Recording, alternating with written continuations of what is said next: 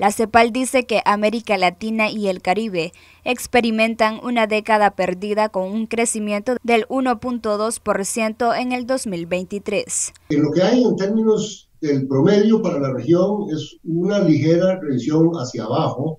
Esperamos que en el 2023 la región va a crecer a solo 1.2%. Antes habíamos estimado 1.3%, lo cual es una tasa de crecimiento a todas luces eh, muy baja, muy mediocre, preocupante. Es una desaceleración con respecto al crecimiento del año 2022, en donde se creció prácticamente al doble de eso, y se viene de una desaceleración del efecto rebote del año 21. Bueno, esto ya de alguna manera se esperaba, ya lo habíamos eh, predicho, hay unas diferencias por subregión, por ejemplo, eh, en lo que es América del Sur, 0.6, eh, en lo que es eh, América Central y México un poquito más, 2.0, y el Caribe 3.5. Eso para salirse simplemente del, del promedio. Ahora, ¿qué puede estar explicando todo eso? Bueno, en primer lugar, hay una desaceleración también en la economía mundial. El Fondo Monetario acaba de sacar el, el, las estimaciones para la economía mundial con una revisión hacia abajo. La economía mundial, según el Fondo Monetario, va a crecer este año a 2.8. Eso no da muchas tracciones en los socios comerciales de América Latina. Estados Unidos va a crecer a 1.6, China eh, a 5.2. Ahí hay una buena noticia porque China se esperaba que creciera menos, a 4. De manera que hay una revisión hacia arriba en el crecimiento de China, lo cual ayuda. Y la Unión Europea se espera que crezca solo a 0.8. ¿Qué significa todo esto? Pues que estamos en un mal momento para la economía mundial y para América Latina.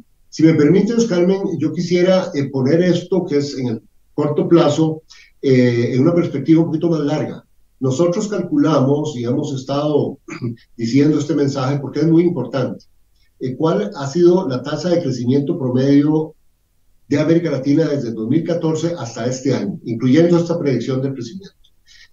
Comparada con la década perdida, que se habló tanto de la década de los 80. En la década perdida, crecimos a 2%, nada más 2%. Y eso se llamó la década perdida para el crecimiento. Pues resulta que si vemos desde el 2014 hasta el año 2023, la tasa de crecimiento es solo 0.9%. Ahí es donde hemos estado diciendo, estamos al final de una década más perdida que la década perdida en términos de crecimiento. Ahora, esto no es para que todos nos pongamos muy, muy, muy tristes, pero sí ciertamente preocupados, pero sobre todo el mensaje de esto es que este bajo crecimiento, esta desaceleración que tenemos, no es solo el resultado de esta cascada de crisis que nos ha pegado de la pandemia, la inflación, la guerra en Ucrania, etcétera, las tasas de interés más altas. Todo eso sin duda ha agravado.